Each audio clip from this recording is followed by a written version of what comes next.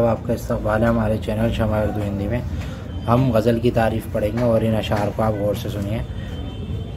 बहुत पहले से उन कदमों की आहट जान लेते हैं, तुझे ज़िंदगी हम दूर से पहचान लेते हैं। ये सारी गज़ल आप इसमें पढ़िएगा।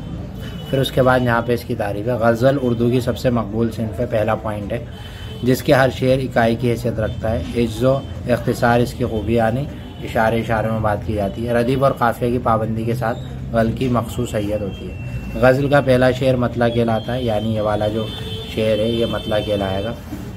जिसके दोनों मिसरे हम काफ़िया होते हैं। हम काफ़िया का मतलब है देखिए, लेते हैं लेते हैं। लेकिन अगले शेर में लेते हैं सिर्फ़ एक बार है।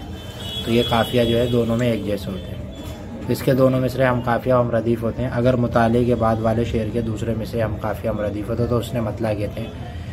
एक गज़ल में एक या दो से ज़्यादा मतले हो सकते हैं। इसी तरह अशार की भी कोई तादाद मुकर नहीं है। गज़ल में आम तौर पर शायर गज़ल के आखिरी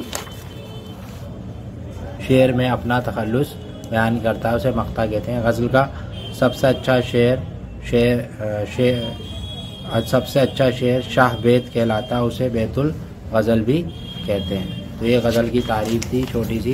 उम्मीद है कि आपको ये गज़ल की तारीफ़ पसंद आई होगी और आपको वीडियो पसंद आई है तो आप हमारे साथ जुड़े रहिए और वीडियो को लाइक करिए, चैनल को सब्सक्राइब करिए।